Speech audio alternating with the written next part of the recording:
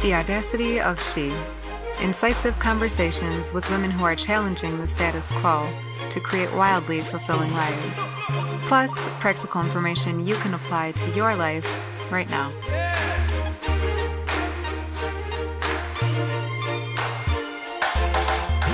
Hi, so happy to have you back here again this week. I've been getting really great feedback on the show, and I know you're loving the real world conversations. What I hear most is that you find it refreshing to hear that you're not alone in going through things in your life, and you love seeing powerful examples of women who have faced difficult times in their lives and really used those experiences as a catalyst to create meaningful change. The truth is that the women on the show are unique in that they rose to the challenge but we all have the opportunity to do the same. So I'm thrilled to keep sharing these stories, and I'm so happy that they are inspiring you. My one ask is if you've benefited from this show, that you write a review on iTunes. Just a few words is all it takes, and it is invaluable in helping get the message out to even more women. I believe that our true nature is abundant and unstoppable when we come together and celebrate what we've accomplished, when we honor both the good and bad times, and when we support each other in our growth and development, we create a powerful space for women to thrive. I'm so honored to share this little nook of the web, and I'm thrilled that you're along for the journey. So, without further ado, we'll jump into today's content. This conversation is with Maegan Watson. Maegan is a personal stylist and founder of Watson Style Group, a firm dedicated to creating wardrobes that practically hand you your outfit each time you get dressed so you can feel the way you want and love the way you look. If you've ever felt less than confident in what you're wearing or spent way too much time in the closet only to get frustrated and settle, you'll enjoy her perspective on investing in your look why it's so much bigger than just you, and why it's actually not as expensive as you think.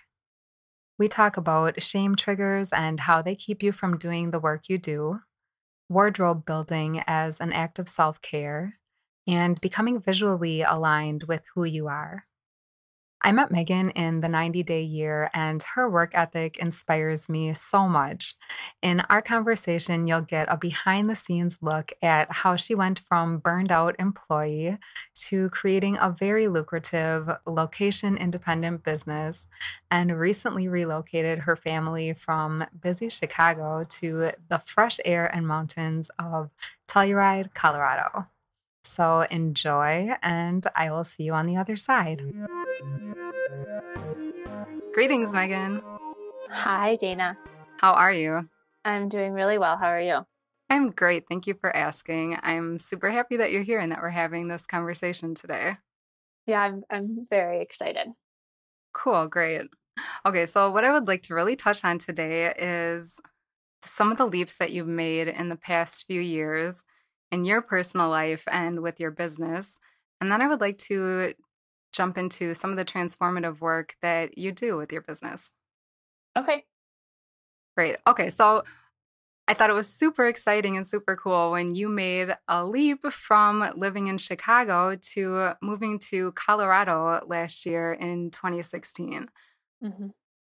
How did you make that decision? Why did you decide to go there? Um, the decision was really based on um, just a long time dream of my husband. Um, my husband and I had this dream of moving back to Colorado. So I went to grad school here um, and fell in love. And so moved back to Chicago for work. That's where our family is. And, you know, we, my business wasn't always virtual.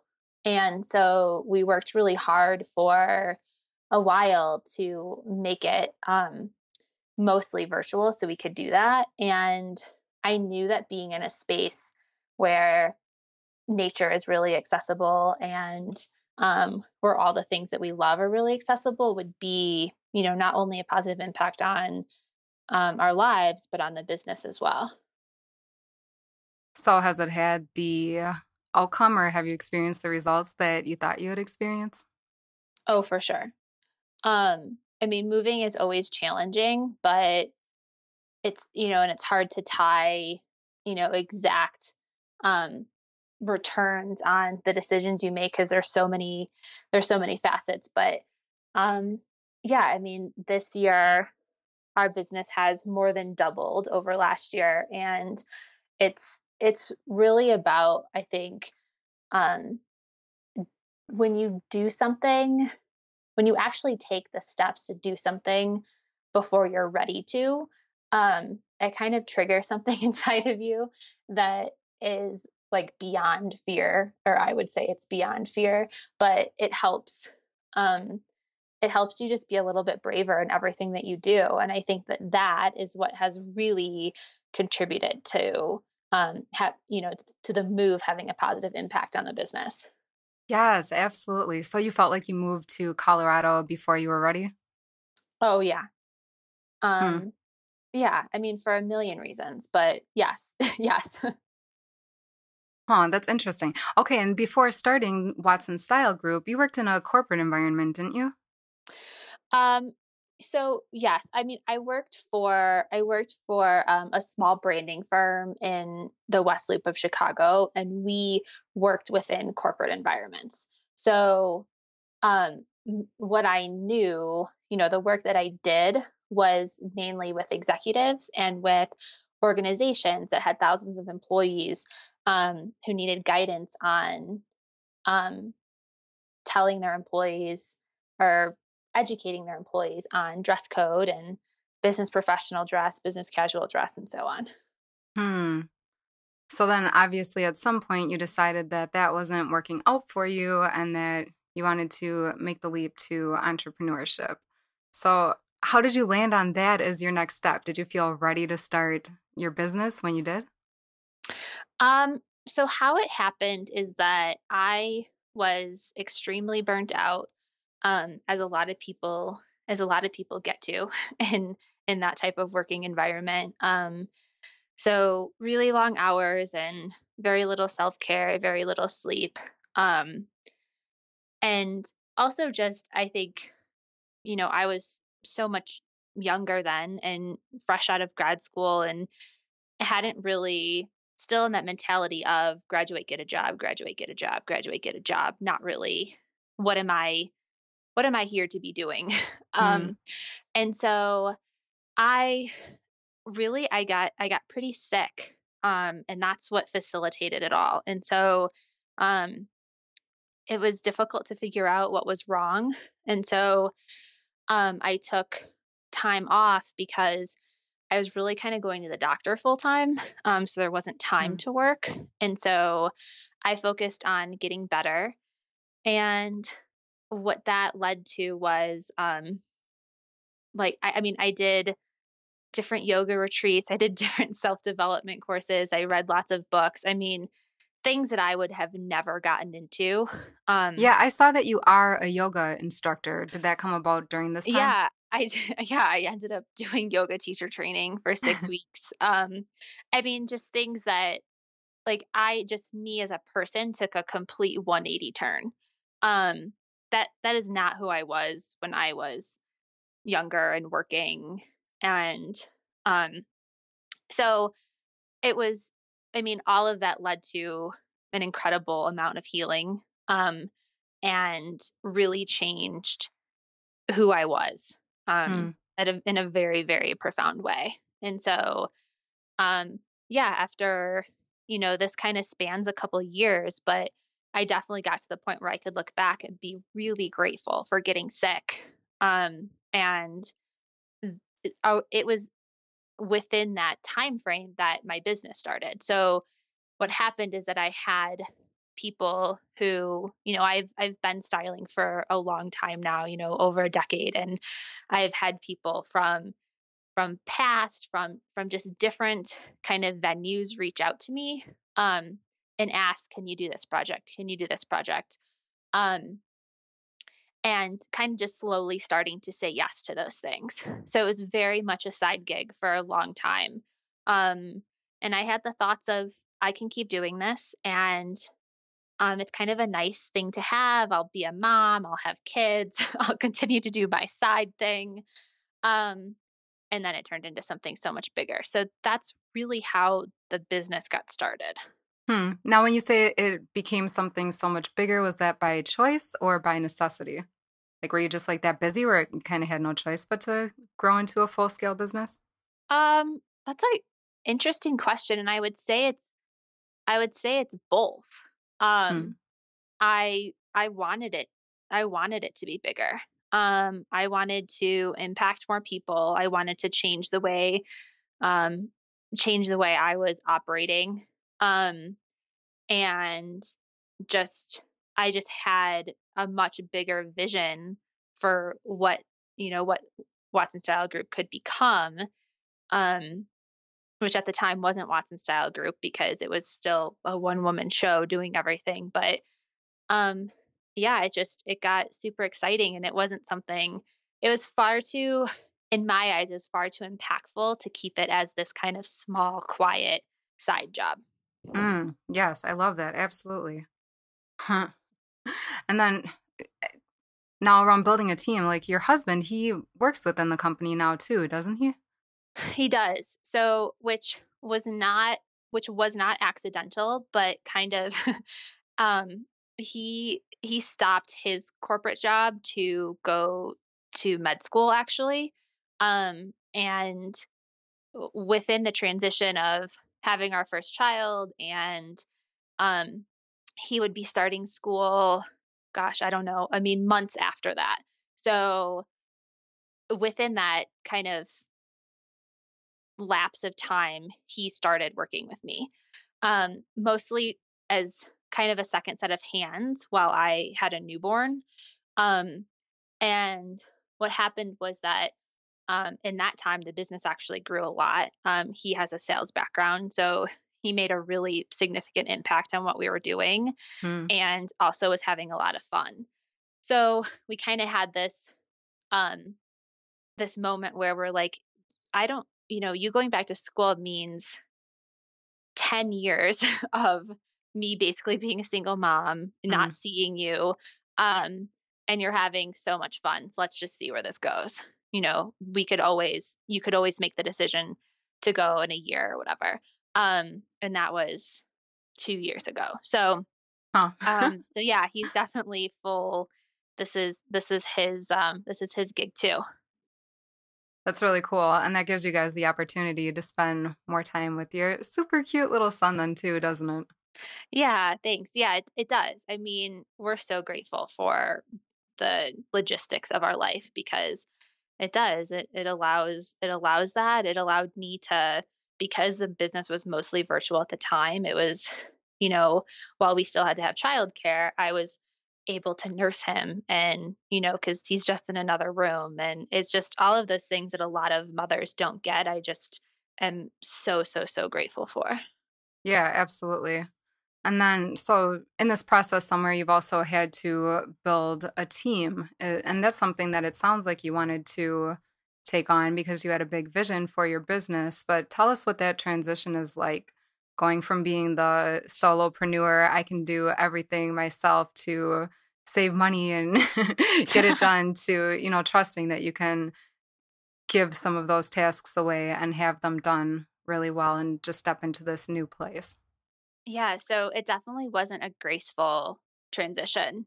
Um, and even though, you know, my my background or my formal education is in um, business, I just it, it, that's so different from being an entrepreneur and you kind of like think you know it all and just because you are good at numbers and being able to look at profitability and such but so what happened is that um, it kind of started our very first team member was when I was still doing in person and I was pregnant and um, it's it's actually a pretty physical job because you're taking when you're shopping um, you're carrying thousands of dollars of clothes you're going to people's homes you're carrying rolling racks and so it got to the point where um, I, my husband was like you you can either hire an assistant or you really shouldn't be doing this anymore because it's just not safe. Like you need help.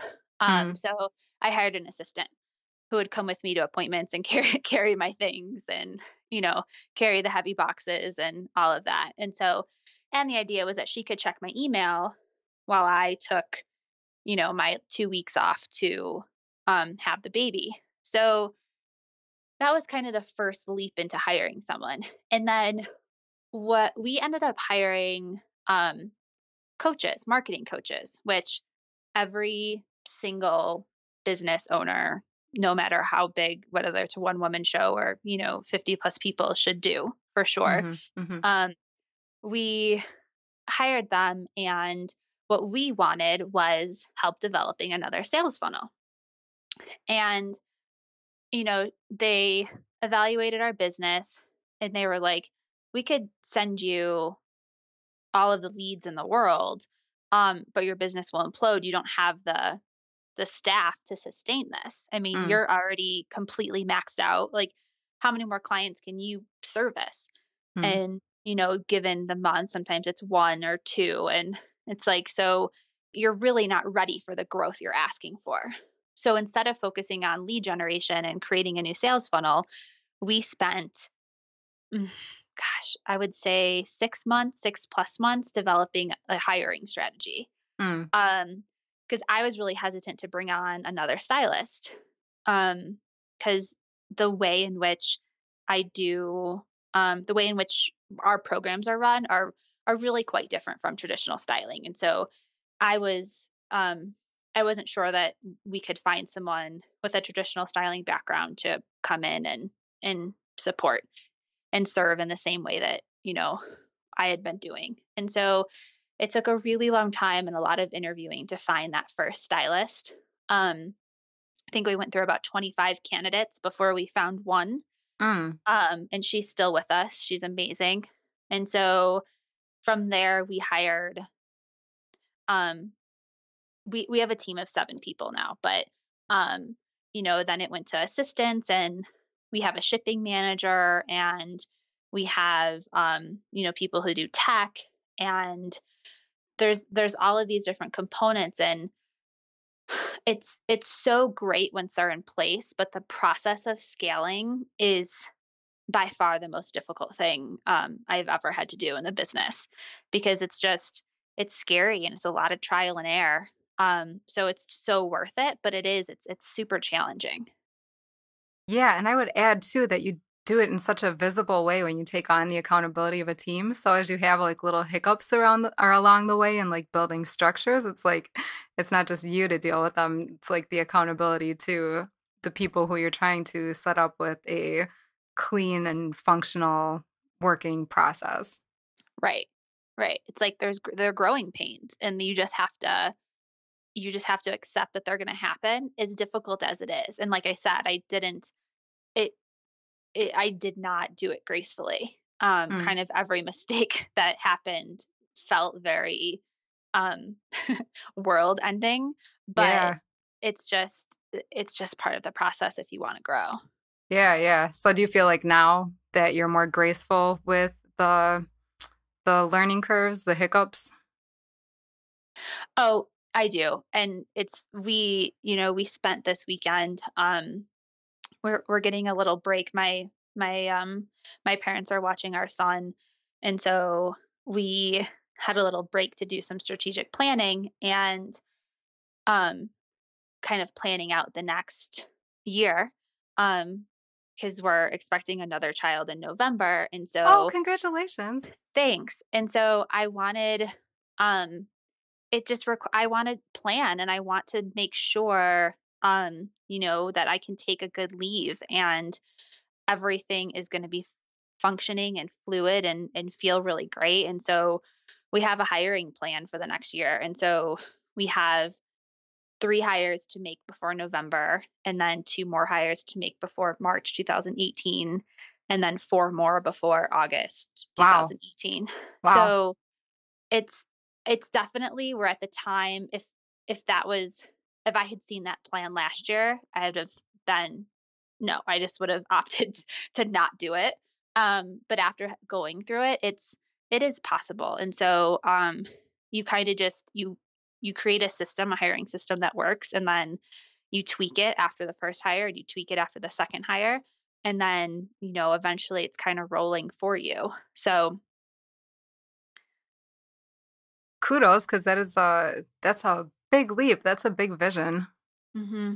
so what is it that what drives the work that you do with watson styling group watson style group why do you want it to what what's the outcome that you would like to have or the impact that you would like to have through the work that you do mm-hmm. so i mean boiled down to the basic level you know our mission is to change the way women get dressed and really what that does is that it it frees up um, this incredible amount of energy that that a woman typically puts into the way she looks and presents herself to the world. Um, really, I would say our work took a turn when I read. Um, I've been following Brene Brown's work for years, and I'm a huge, huge fan. And when she talks about shame triggers, she what she what she focuses on is that they keep you from being um, what she calls in the arena. Um, and so she talks about how that that trigger, so the trigger of you know how I look and how that's making you feel, and um, layered with body image issues, that it's keeping you from speaking up from doing the work you're meant to do, from being brave, from being vulnerable. You know, all of these things that lead to um, a really wholehearted way to live. And so when I heard this and I heard, um, you know, the empirical evidence of of what of how women are affected by appearance and body image um, I really knew that I had to focus our work a little more on addressing that because there'd always been a gap for me in, you know, people thinking that personal styling is somewhat trivial. Um, even though I know that it's not, you know, even though I've seen the impact it's made on women's lives. And so, but that still, that still stood. And so when I was able to kind of dive deeper into her work, um, and really see kind of how powerful it is when women start to address some of these some of these triggers so that they don't keep them from speaking up and being brave and, and doing the hard work they're here to do. Um, that's how um, that's how i started to shift our programs and that really led to kind of why we do this work. Um, it's it's because there's really incredible um, there's really incredible people out there. There's really incredible women serving um, serving others in these really profound ways. And if there's something that I can do to make their work, um, make their lives easier, make their work um, more easily received by by the audience, um, all of that dials into how we are presenting ourselves visually and how we feel about it, how um, the message that it sends. And so that's that's really kind of the bottom line of of what we do. Yeah so excuse me. When i was watching a video yesterday in preparation for this conversation today i saw that one of the traits that you look for in the women that you work with is that they have a clearly defined mission. Yes? Yes that's correct. Because then you help them identify the best clothing options for them based on the objectives they'd like to accomplish? Um, it's we use the mission a little differently. So the reason why we want, you know, the women that we work with, the reason why we want them to have a mission or support them in identifying one is because that becomes the guiding force for the work that we do. So, or another way to say that is that becomes the bar that we hold for them. So, when you have this mission, the the work that you're doing, whether it be um, work on your visual presence, whether it be work on your um, gosh, all of the different facets. It could be different facets that you're working on your business. It could be developmental work you're doing on sales or um, any type of personal development. that work that you're doing becomes less about you. It becomes less about, okay, I'm buying this necklace for me. I'm buying this beautiful pair of shoes for me. Um, it becomes, I'm, I'm addressing these visual attributes. I'm addressing the way that I want to look because it's going to serve this mission. It's going to serve, and we're able to tie that back to, you know, this. This becomes an act of self care. You are the vessel at which this mission will be accomplished. So we need to take care of you to, you know, to our greatest ability. And so that's how the that's where the mission comes in. It becomes this bar and it becomes it becomes the way we alleviate you know, really the guilt that can be associated with um, buying clothing for ourselves or doing something that feels a little bit indulgent because it's not about being indulgent. It's not about being frivolous or being wasteful or, you know, consuming at this high rate. It's about taking care of the person that you are so that you can accomplish this mission. Um, and how we select the clothing, yeah, the mission, of, you know, can impact that. But the way the clothing gets selected is um, through a process of uncovering values, ideal feelings, um, and attributes that really resonate with you. So it can be anything from nature, it can be the things that you love to do from hiking to reading to cooking. Um, all of those things get mixed together to create um, an aesthetic representation that is designed to be kind of the best fit for you. So it's not really our job or your job to come up with, oh, I like the way that dress looks and I like the way this person dresses. It's it's about kind of diving in and finding really these more core elements. And then our job is to ascribe the way those will look visually. Um, huh. and that's yeah. Wow. Yeah, that that is so powerful. That's such a unique way to come at it. Yeah, it's we it's done a little differently and I I do think that that I would say that it's that process change that I would attribute to the success that we have because it really it really takes the pressure off of the both individuals um, and takes it off of um, are you going to like this? Are they going to like this? Is my audience going to like this? Because it's it's you we're representing and there's really no you know you at your core are perfect. And so if we can really capture that then there's no it's really uncommon for someone to not like that image that we've created because mm. it's it it's based on them. Um it's not something we've liked and planted on them which happens quite you know that can happen with especially with editorial styling. It's just let's create something beautiful and put it here um, which that has that old you know these this different objective but when it comes to personal styling it really has to be pulled from the person or it's not going to do its job mm.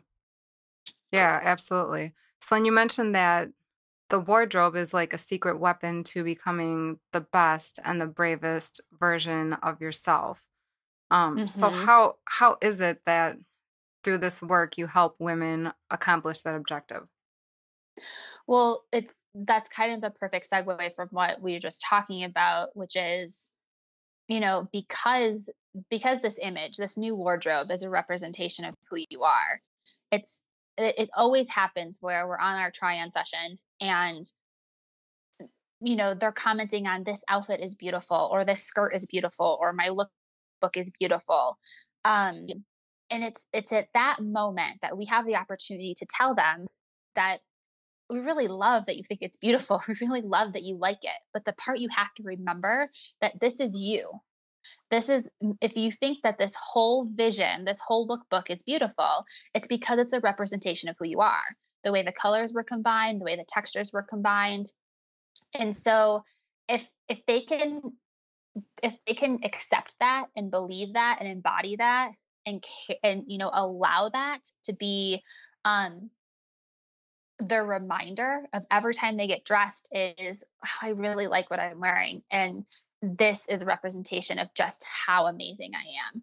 Um, that's how we can begin to um, always step into, you know, it's it's step into our best and bravest selves. It's not someone you need to become, it's someone you already are that you just need to allow yourself to be or allow mm. yourself to realize or allow yourself to show other people.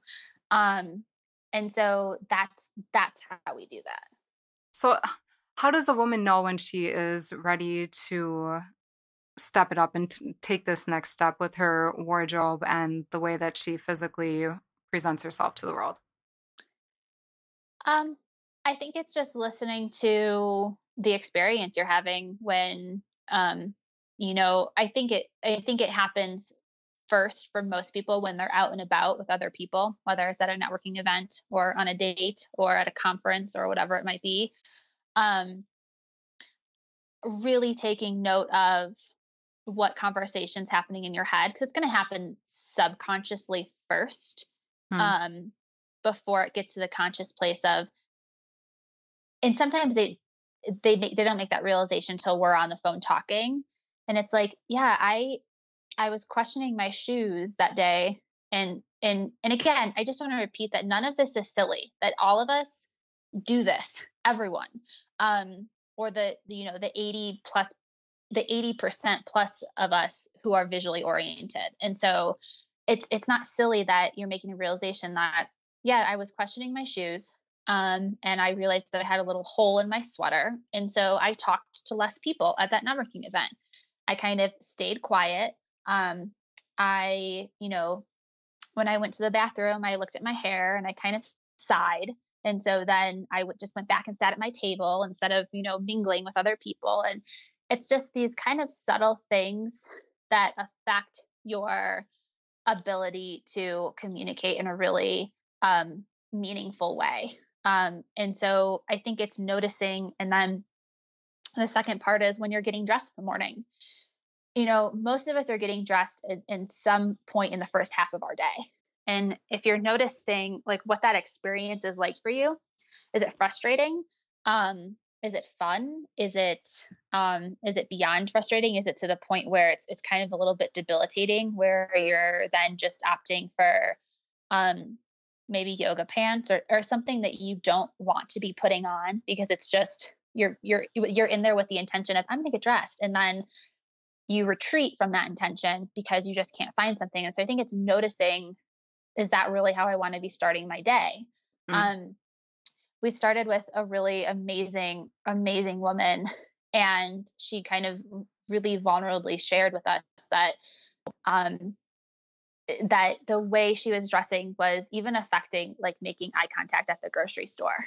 And, mm. you know, we all got to this emotional place on the call because she's just such an incredible person um, and so sweet. And she's really doing the world a disservice by by not engaging with other people because other people engaging with her will for sure make their day better. Um, and so I think that you have to really honor um, who you are and what you want to be doing. And if the way you look is impacting that in any way, um, knowing that it's okay to want to address that. It's okay to ask for help to address that. It's okay that, um, yes, it's visual and yes, it has to do with clothing, but that you are amongst a bunch of other amazing women who are having the same issue. Okay, we'll take a step back for just a second here. For this part of the conversation, Maegan and I discuss who is a good fit for working with a personal stylist, what that can look like, how you can customize your experience to what you really need so you can live at the level you prefer. And she also sheds light on why working with a stylist can actually save you money. So let's dive back in and hear what Maegan has to say it's funny. It's I think that um, someone wrote a testimonial before for us, and I forget her exact words, but she was like, "I definitely thought working with a stylist was for celebrities." Hmm. Um, and she kind of made this comment how she's only a stay-at-home mom and all of this stuff, and I, you know, especially being a mother, there's there's nothing true about saying you're only a stay-at-home mom. I mean, mm-hmm. you are like running the world when you're a mother and working to do all of those things. And so, but that was her comment. You know, I used to think this was only for celebrities, but we've done we've done silly things from like T- one of my favorites was we did a we did a lookbook that was titled T-ball wardrobe and is because this woman was busy. She had two boys and she had to go to T-ball games every single weekend. And she was like, I just want something cute and comfortable that can get dirty and my shoes are comfy. Um, and it's not silly to be asking a professional to do that for you because hmm. your time is your time is better spent with those two boys or having fun or doing fulfilling work. That's kind of the whole thing is that it's not just for it's for people who wear clothes um, and who are, you know, at that like we talked about earlier at that place of I'm ready to make a bigger impact in my life. Let's start to see the things that I can hand off um, or that really I'm not doing at the level I need to be, you know, to be um, living the the life at the level that I want. So it's yeah, it's an interesting it's an interesting um, stereotype, I would say. I mean, and not that, you know, it does when you work with a personal stylist, yes, you're going to be purchasing clothing. So there's the act of spending money. Mm-hmm. Um, but I've had a lot of clients say that, um, and they've, we like, we have numbers, they've given numbers, but where the year, because typically people work with us for a full year, the year they've worked with us, they spent less money. Um, because they're not out trialing all of these things. Like, oh, I have a speaking engagement. I better go get a dress. So, mm. okay, you drop X amount on a dress that you don't know how to wear again, or it really wasn't great in the first place, but your flight was leaving, you know, in the morning. So mm-hmm, you had mm-hmm. to get it. Um, so when people who are kind of really into their personal finances look at like, wow, I, I actually spent less doing this. Um, and I would say for people who have a lot of visual engagements, that tends to be the case. Um, because you're not, you know, I had a client who was hopping, they'd fly to their location that they were going to, whether it was for a conference or a speaking engagement, and then pop into a store when they got there to find something to wear. Like, oh my gosh, why don't you just go and enjoy a good dinner and mm. or prepare prepare for what you're going to say instead of compiling this these mounds of clothing and then they they they wouldn't get worn again because it's like it was a stress it was purchased under stress and then it has this negative connotation to it. So it's it's really interesting the way the shopping patterns that get created. Wow. Yeah that's powerful. Cool. Well Maegan i think we covered everything that i had on my mind. Is there anything else that you wanted to share um no i don't think so we we talked a lot this was a really this was a really great conversation Great. Yeah, I think so too. Um, so, for anyone who wants to get in touch with you, maybe check out some of your work, reach out if they feel inclined, how would they do that? Um, the very the very best way to do that is um, to go to watsonstylegroup.com forward slash styling dash session. Um, and this is kind of just where you can learn about what it is that we do. So, one of the other unique things that we do is that um, everyone gets anyone who um, has an interest in personal styling gets to experience us complimentary. Um, and I feel like that's the best way to see if, you know, to let people test the water, so to say, of styling, personal styling feels great. This this Watson style group is a fit, isn't a fit. Um, and so that's the best way because that will kind of give you the info you need and allow you to actually get questions answered. Mm. Okay, great. Well, Maegan, thank you so much for coming on today. Yeah, thank you for having me and your your great questions. It was um it was really fun to talk about. Well, thank you and have a great day. Yeah, thank you, Dana. Take care. Did today's topic inspire you, encourage you, or challenge you to look at your own processes in a different way? Join us in our Facebook group to continue the conversation. It's where all the good stuff happens after the show. It's theaudacityofshe.com slash Facebook. Again, that's theaudacityofshe.com slash Facebook. See you there.